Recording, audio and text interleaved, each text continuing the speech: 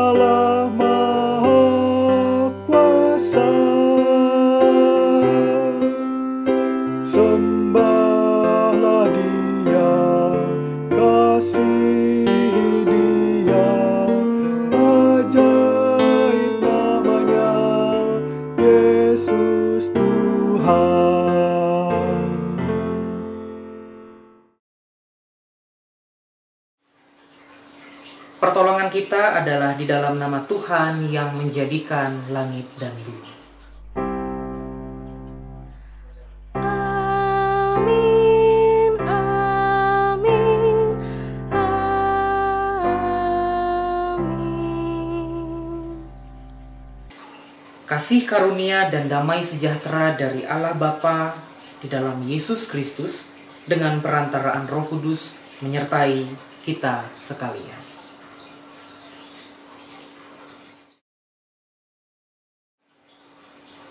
Matius pasal 22 ayat 37 hingga yang ke-40 akan menjadi narasi kasih di pagi hari ini. Demikianlah firman Tuhan.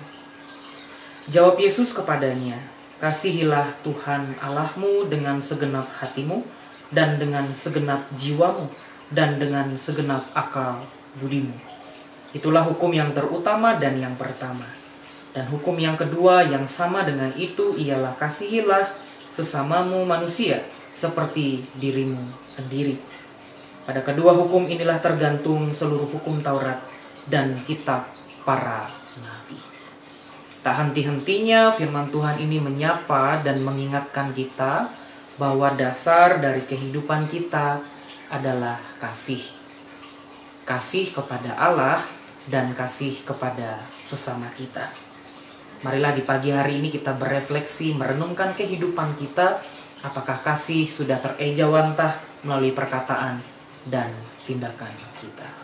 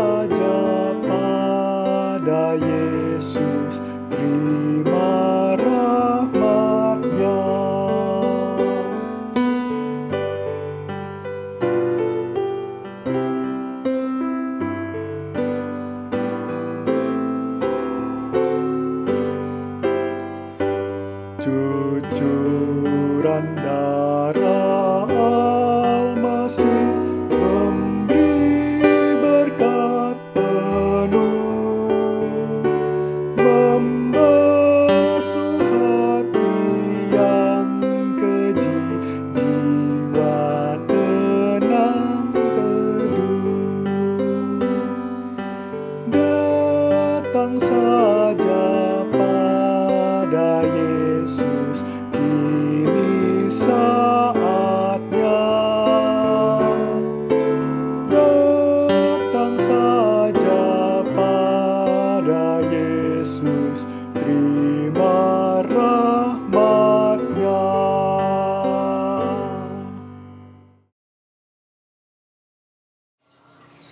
Dengan sepenuh hati, marilah kita menerima anugerah Tuhan yang mengampuni setiap dosa, membasuh semua celah, dan mendekap kita dengan kasihnya.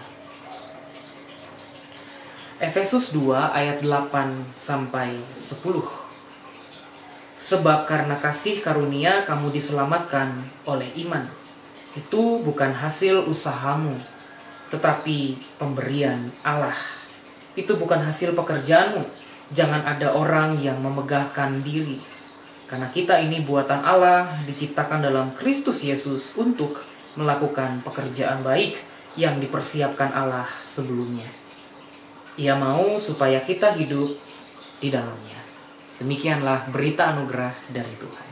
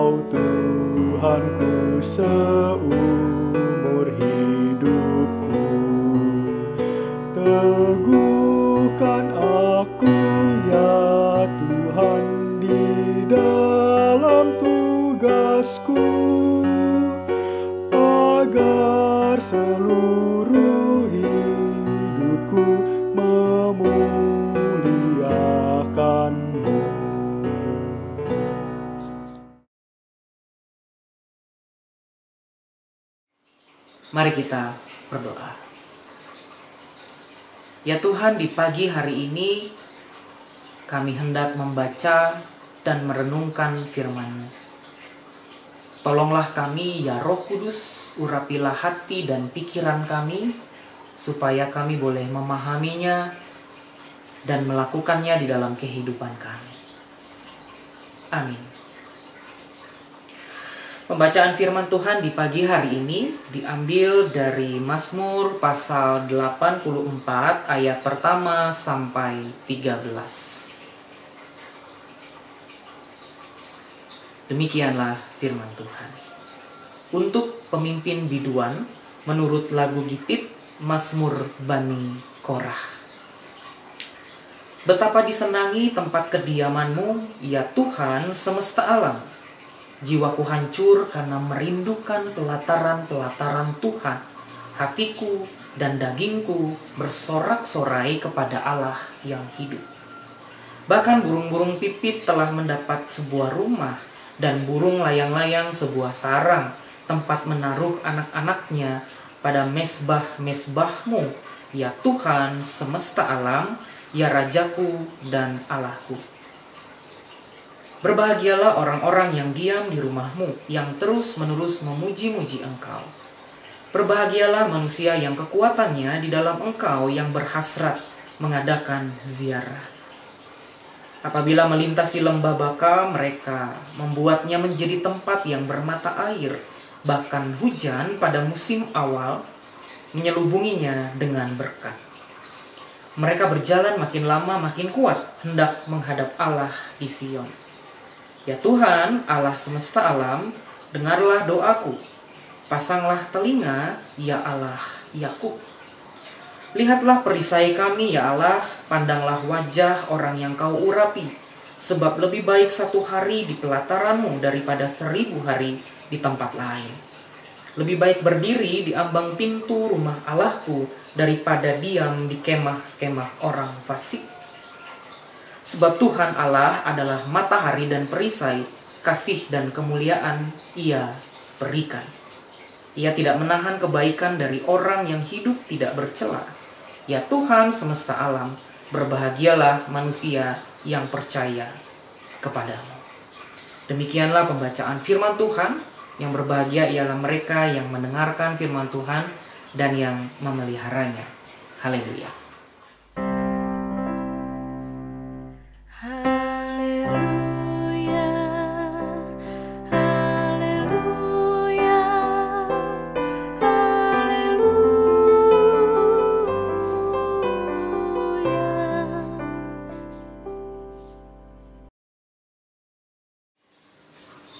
Ibu dan saudara yang terkasih, kalau kita bicara soal rindu atau merindukan, maka pembahasannya tidak akan lepas dari cinta. Karena rindu dan cinta adalah dua hal yang berkaitan. Kalau kita merindukan seseorang, maka kita tahu, kita sadar bahwa perasaan itu akarnya adalah cinta. Demikian pula sebaliknya, kalau kita mencintai seseorang, maka kita pasti akan merindukannya. Nah, di tengah pandemi yang terjadi, yang masih terjadi saat ini, saya cukup yakin bahwa perasaan yang mendominasi hati kita adalah perasaan rindu. Terutama jika kita bicara soal gereja, kegiatan yang ada di dalamnya, dan orang-orang yang bersekutu di dalamnya. Kalau kita mau melihat, menengok ke belakang, mengingat pengalaman dan cerita kita, maka kita akan menemukan banyak sekali kisah-kisah yang kita rindukan. Cerita-cerita yang kita harapkan akan terulang lagi kita berharap agar situasi pandemi ini segera berakhir supaya kita bisa kembali ke kisah-kisah yang menyenangkan, membahagiakan, menggembirakan di masa lalu dan kita merindukan hal itu. Karena kita merindukannya, kita tahu, kita menyadari karena kita mencintai gereja dan orang-orang yang ada di dalamnya. Nah, Bapak Ibu dan Saudara yang terkasih, bicara soal merindukan gereja, merindukan rumah Tuhan atau merindukan bait Allah, bacaan kita di pagi hari ini juga mengungkapkan hal yang sama. Pemasmur menceritakan, menggambarkan situasi perasaan hatinya yang rindu akan bait Allah. Bahkan penggambaran itu, pengungkapan yang dilakukan oleh pemazmur itu digambarkannya dengan nada dan lirik yang lirih gitu ya, syair yang lirih. Coba kita perhatikan di dalam ayatnya yang kedua. Di sana pemazmur mengatakan, jiwaku hancur karena merindukan pelataran pelataranmu. Rindu menyebabkan hancurnya jiwa sang pemasmur. Kita nggak tahu bentuknya jiwa yang hancur itu seperti apa, tapi setidaknya dari kalimat ini kita dapat memahami bahwa pemazmur benar-benar tenggelam dalam rasa rindunya untuk bertemu dengan Allah. Tetapi di ayat selanjutnya, di kalimat selanjutnya ada kata-kata yang kontradiktif bahwa dagingku kata pemazmur, bersorak-sorai kepada Allah.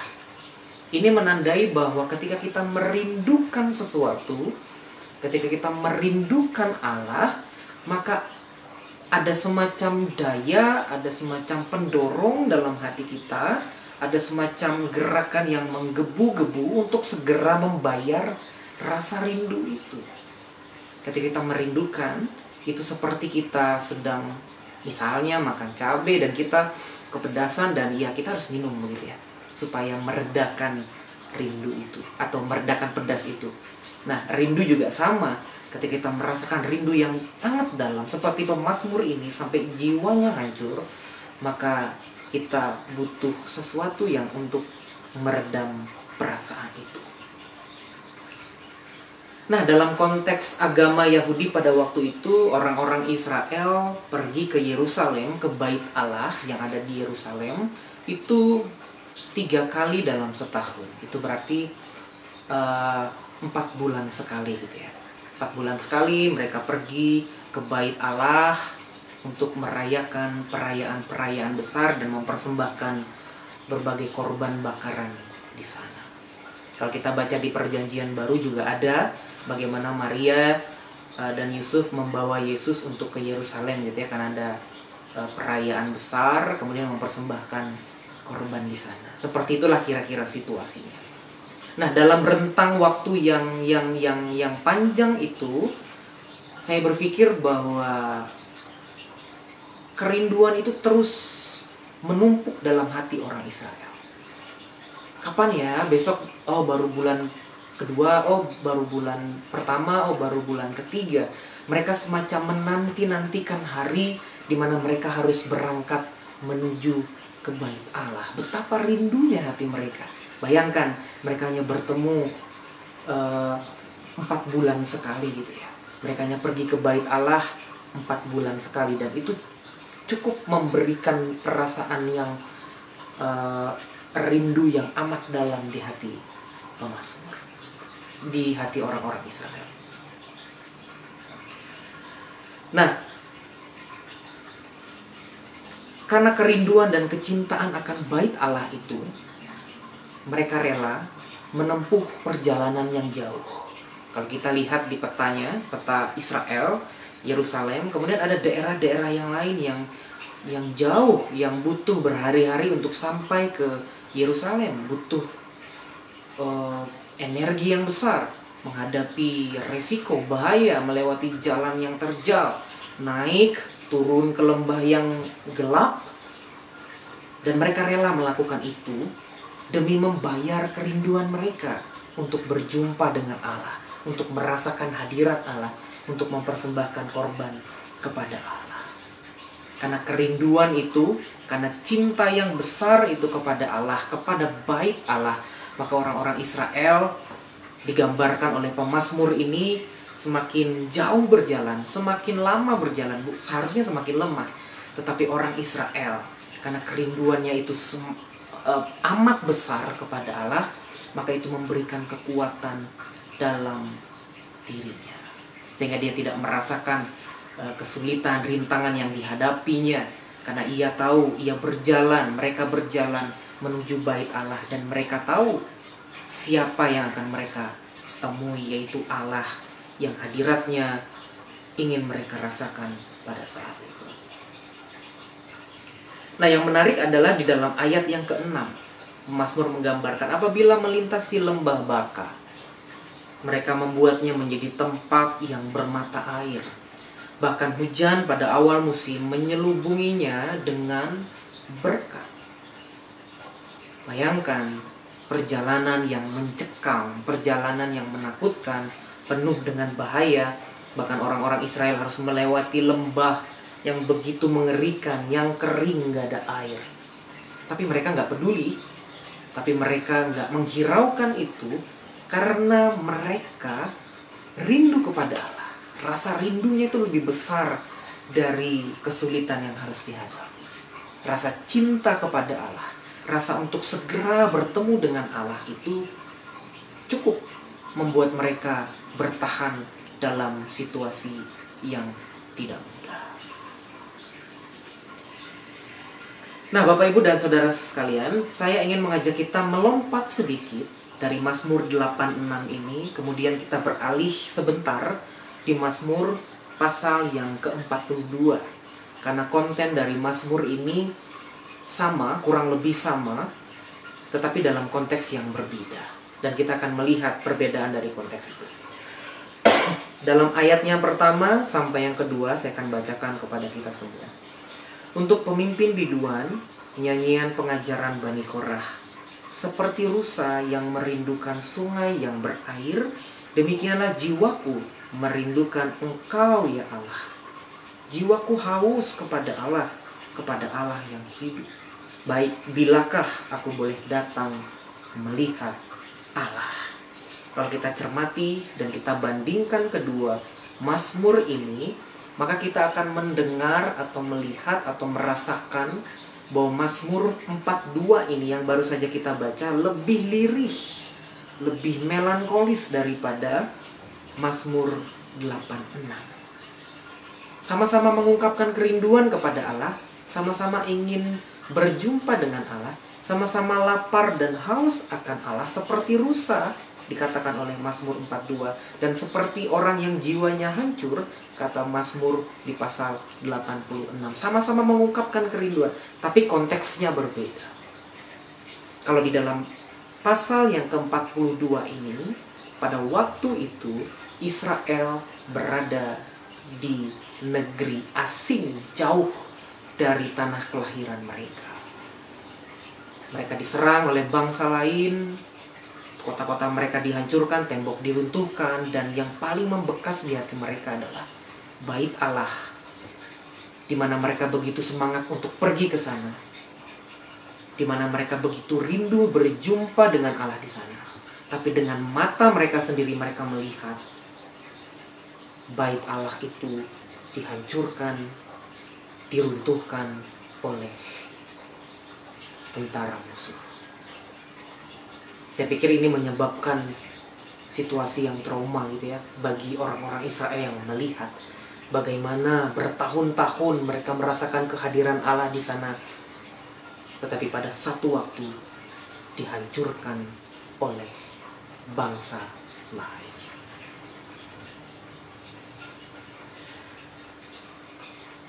Namun dalam kondisi yang seperti itu, sekalipun mereka mengalami kerinduan yang begitu berat, rindu yang tidak terbayarkan itu, tapi mereka tidak berhenti di titik itu.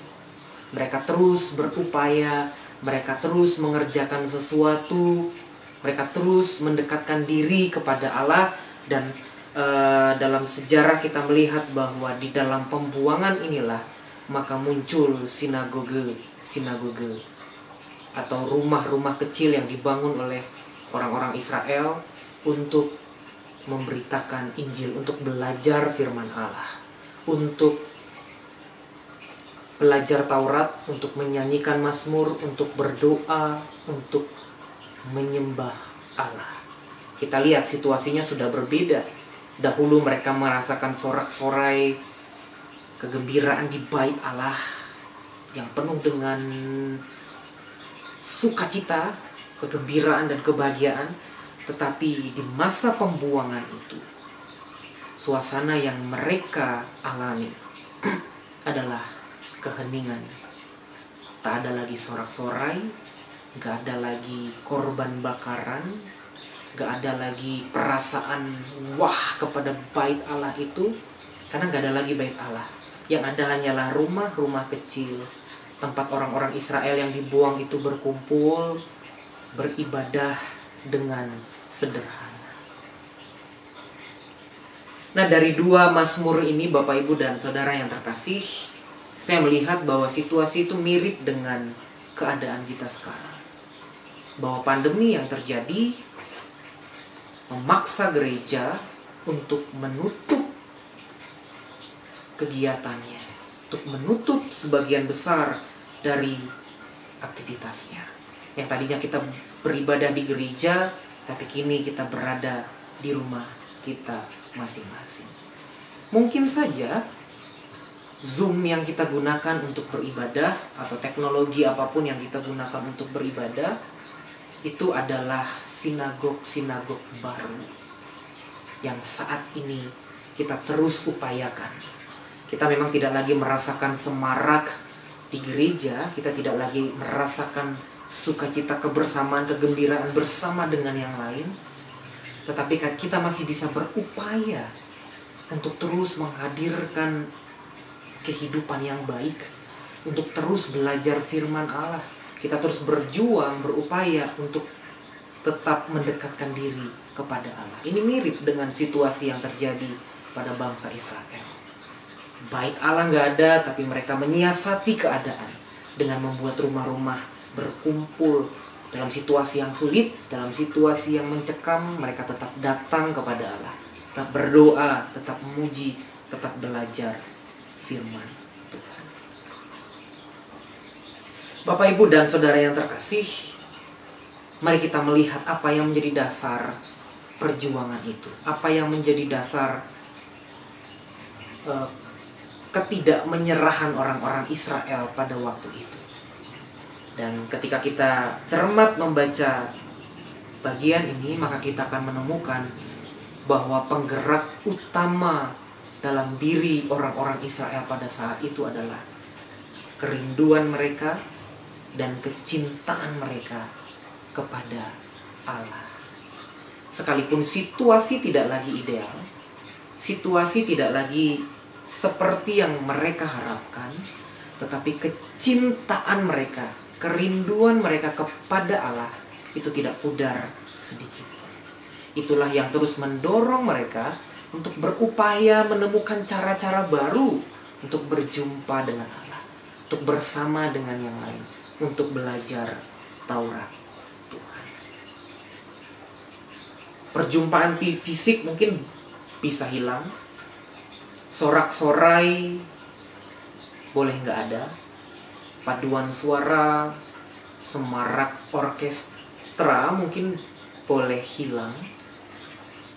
Namun ada satu yang tidak boleh hilang dalam diri kita, yaitu kerinduan kepada Allah.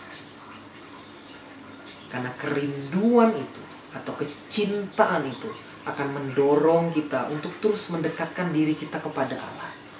Rintangan banyak, bahaya banyak yang mengancam kita. Tetapi ketika kita memiliki dua hal itu, cinta dan rindu itu tadi kepada Allah, maka itu akan cukup mendorong kita untuk menghadirkan kehidupan yang. Bapak, Ibu, dan Saudara yang terkasih, refleksi kita di pagi hari ini adalah supaya kita tetap menjaga cinta dan rindu kepada Allah. Kadang-kadang melelahkan, kadang-kadang menyakitkan, kadang-kadang tiada jawaban, tetapi justru ketika kita memelihara rindu dan cinta dalam hati kita kepada Allah, maka itu yang terus-menerus memberikan kekuatan bagi kita untuk enggak menyerah pada keadaan. Keadaan boleh berbeda dari apa yang kita harapkan, tetapi di hati kita hendaknya terus terpancar kasih itu, cinta itu, terus terpancar kerinduan kepada Allah. Karena itulah yang memampukan kita untuk terus berjalan. Kiranya refleksi kita di pagi hari ini memberikan kekuatan, memberikan sukacita dan semangat dalam kehidupan kita. Amin.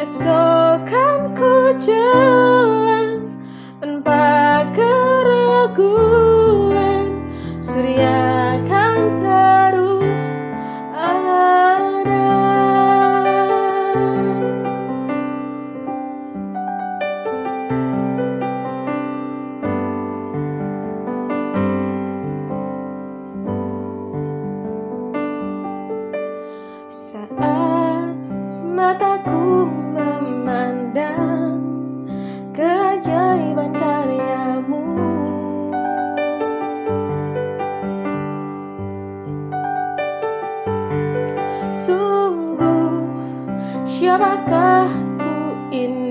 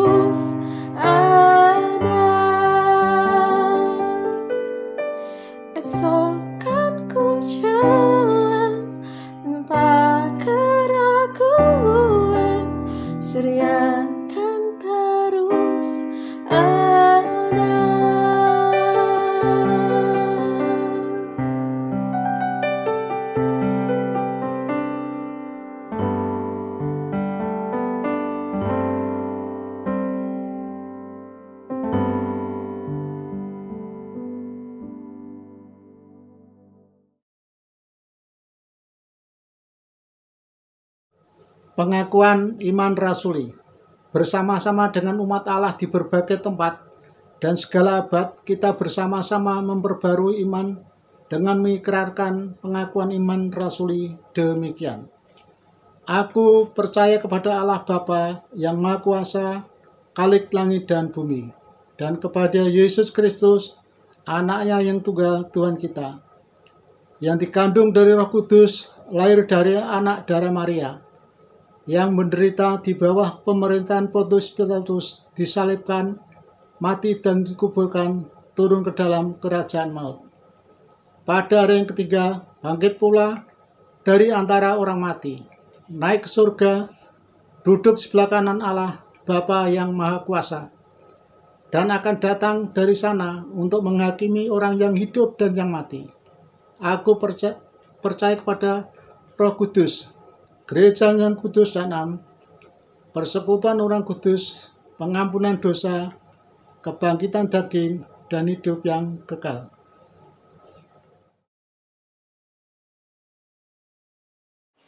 Mari kita berdoa. Ya Tuhan, di pagi hari ini kami menyatukan hati dan pikiran kami, menaikkan doa-doa dan permohonan kami kepadamu ya Tuhan. Kami berdoa untuk orang tua kami, Ibu Suwarni Sabari, Bapak Patmo Suparjo, Bapak Wagimin Hadiwiono, Ibu Salmi, Ibu Sri Astuti, Ibu Kusnadi, Ibu Luki Kaluhuran, Bapak Distok Sitorus, Ibu Marsia Suparni, Bapak Mandor Saud, Ibu Wahyudi Sumitro, Bapak Edi Pikauli. Berkatilah orang tua kami ini ya Tuhan, berikanlah sukacita, damai sejahtera, pengharapan yang daripada Tuhan saja. Kami juga berdoa ya Tuhan untuk sahabat-sahabat kami, untuk orang-orang yang kami cintai yang saat ini sedang sakit ataupun dalam proses pemulihan. Kami berdoa untuk Ibu Jenda Yana Tarigan, Saudari Anita, Bapak Endro Yuwono, Bapak Hananto Suryo, Ibu Usdi Wiono, Ibu Sumiati Subarto, Bapak Sarasto Eklas, Ibu Legi Atmorojo, Bapak Sumarsono, Ibu Rosna Andini, Bapak Langgeng Nugroho, Ibu Ratna Pujo, Ibu Rini, Gatot, Saudari Monica Venova, dan Saudara Jan Roy Ferianto. Yang berdoa untuk Ibu Eli Markus dan Saudari Hana Markus. Yang berdoa untuk Bapak Cornelius Adam Munaji, Bapak Atut Dewanto, Ibu Anik Sri Karuniati, Ibu Sri Purdiati Mujiono, Ibu Suryadi Sudarmo, Bapak Triyogo Jati, dan Ibu Trani Triyogo. Yang berdoa untuk Ibu Marliana Surbakti, Ibu Sulastri, Bapak Haryanto Setio Budi, Bapak dan Ibu Agus Haryanto, Bapak Aswirus Rusdito, Ibu Murni Sudrajat, Ibu Agus Budiarti, Ibu Suminah Subroto, Ibu Veronica Indah, Ibu Mundijah. Kami berdoa ya Tuhan untuk sahabat-sahabat kami ini yang kami kasihi, yang kami kenal dan yang kami terus doakan agar kiranya Tuhan yang senantiasa beserta dalam proses kehidupan mereka. Kiranya dalam proses medis yang harus dijalani, bila mereka menjalaninya dengan penuh pengharapan hanya kepada Tuhan saja yang menjadi sumber kehidupan, yang menjadi sumber kekuatan mereka. Biarlah melalui obat-obatan, melalui apa pun yang mereka harus uh, lakukan, Tuhan bekerja melaluinya. Tuhan juga memberkati saudara-saudara dan para sahabat yang mendampinginya. Kami juga berdoa ya Tuhan untuk gereja kami GKJ Pamulang. Kami berdoa kiranya damai sejahtera ada di tiap-tiap keluarga kami. biarlah kehidupan kami boleh terus-menerus memancarkan terang dan berkontribusi bagi kehidupan atau lingkungan di sekitar kami. Kami juga berdoa untuk setiap warga gereja yang mengalami pergumulan, mengalami berbagai macam hal. Tuhan, kiranya Engkau yang menjawab setiap pergumulan mereka. Apa pun yang mereka gumulkan, apa yang mereka rindukan, apa yang mereka harapkan, kiranya Tuhanlah yang menjadi jawaban bagi setiap pergumulan mereka. Kami berdoa ya Tuhan untuk setiap kegiatan yang ada di gereja kami. Tuhan memberkati Biarlah apa yang kami lakukan, apa yang kami kerjakan, semuanya boleh mempermuliakan nama Tuhan, boleh memancarkan terang kasih kepada sekitar kami. Kami juga berdoa ya Tuhan untuk bangsa kami, bangsa Indonesia dalam semarak kemerdekaan ini biarlah menjadi pengingat bagi kami sebagai warga negara Indonesia untuk terus-menerus mengupayakan persatuan, untuk terus-menerus mengupayakan kehidupan bersama, supaya setiap kami, langkah kaki kami, apa yang kami lakukan boleh bermanfaat, boleh berkontribusi bagi negara ini. Kami berdoa ya Tuhan untuk pemerintah-pemerintah kami, Tuhan Engkau yang memberkati mereka, memberikan hikmat dan kekuatan kepada mereka. Kami berdoa ya Tuhan untuk situasi yang tulus dan masih terjadi ini ya Tuhan. Kami serahkan semuanya ke dalam tanganmu dan kami berdoa untuk mereka yang saat ini ada di garda terdepan Kiranya kasih, semangat, pengharapan yang dari Tuhan memenuhi hati dan pikiran mereka. Sehingga dalam situasi yang tidak mudah ini mereka terus-menerus bekerja, melayani dan ada kekuatan yang muncul dalam diri mereka. Inilah doa dan seruan yang kami naikkan hanya ke dalam tanganmu saja ya Tuhan. Kami percaya setiap permohonan kami didengar dan setiap permintaan kami Tuhan menjawab sesuai dengan kehendakmu saja dan sesuai dengan waktunya. Dan kami hendak menutup doa ini dengan doa yang Tuhan sudah ajarkan kepada kami. Bapa kami yang ada di surga, dikuduskanlah namamu, datanglah kerajaanmu, jadilah kehendakmu di bumi seperti di surga. Berikanlah kami pada hari ini makanan kami yang secukupnya, dan ampunilah kami akan kesalahan kami, seperti kami juga mengampuni orang yang bersalah kepada kami. Dan janganlah membawa kami ke dalam pencobaan, tapi lepaskanlah kami daripada yang jahat, karena engkaulah yang punya kerajaan dan kuasa dan kemuliaan sampai selama-lamanya. Amin.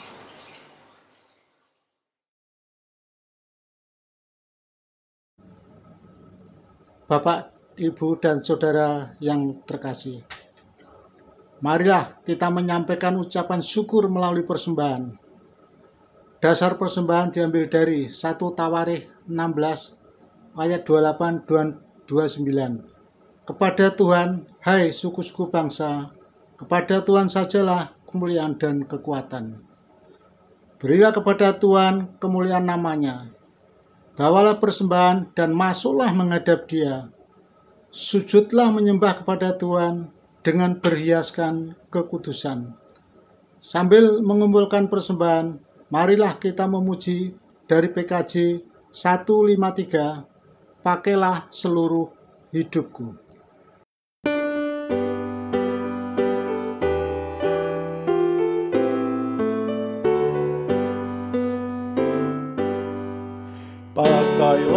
Seluruh hidupmu dalam ladang dunia. Tiap harta dan talentamu pergunakan baginya. Berkat Tuhan tersedia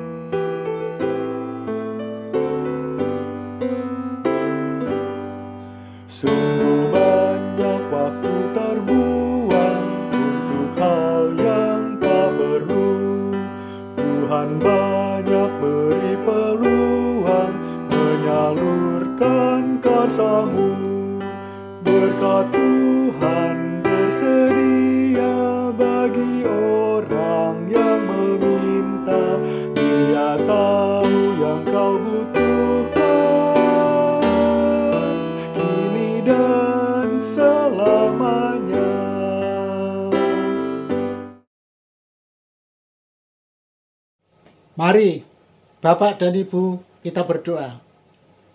Allah Bapa kami yang di surga, kami mengucapkan syukur pada Allah yang mengasihi. Bahwa pagi ini, Jemaatmu GKJ Pamulang telah mengumpulkan persembahan syukur, persembahan bulanan, ikatan kasih, perpuluhan, dan RCB. Kami mohon persembahan ini Engkau berkati dan Engkau sucikan, agar persembahan ini dapat digunakan untuk perkembangan kerajaan-Mu. Tuhan, inilah doa kami. Dalam nama Tuhan Yesus Kristus, kami berdoa. Amin.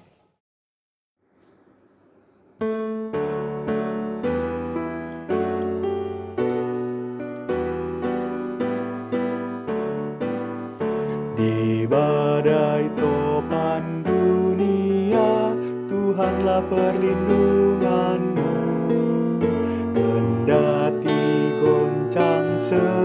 semesta Tuhanlah perlindunganmu.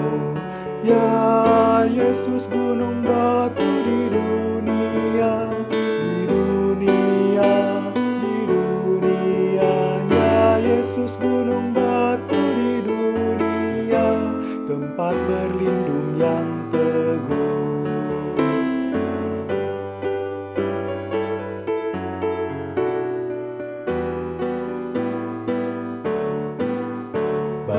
siang maupun malam gelap Tuhanlah perlindunganmu. Niscaya takutmu lenyap Tuhanlah perlindunganmu. Ya Yesus gunung batu di dunia Di dunia, di dunia. Ya Yesus gunung batu di dunia Tempat berlindung yang teguh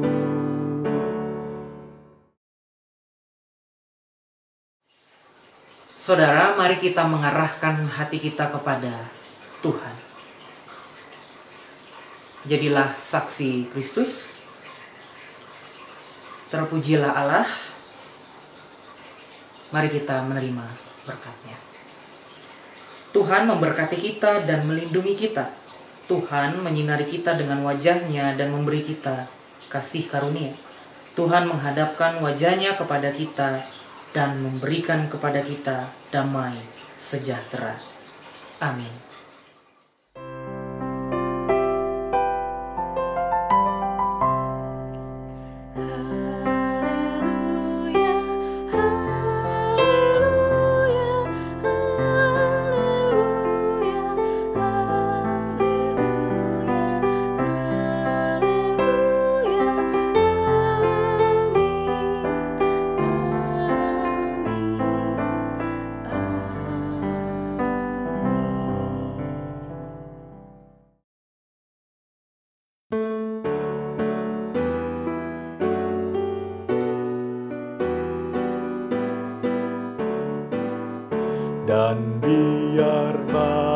Menyerang Tuhanlah perlindunganmu.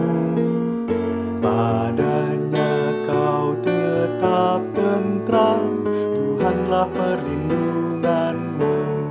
Ya Yesus gunung batu di dunia Di dunia, di dunia. Ya Yesus gunung batu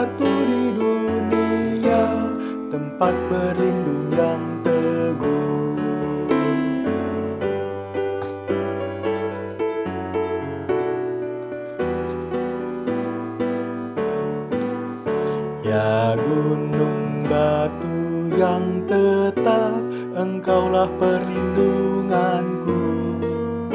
Di tiap waktu dan tempat engkaulah perlindunganku. Ya Yesus gunung batu di dunia di dunia di dunia. Ya Yesus gunung batu di dunia tempat berlindung yang Selamat hari Minggu Bapak Ibu dan saudara yang terkasih. Kiranya minggu ini, hari ini kita boleh terus-menerus merasakan sukacita, damai sejahtera yang dari Tuhan. Tuhan memberkati kita.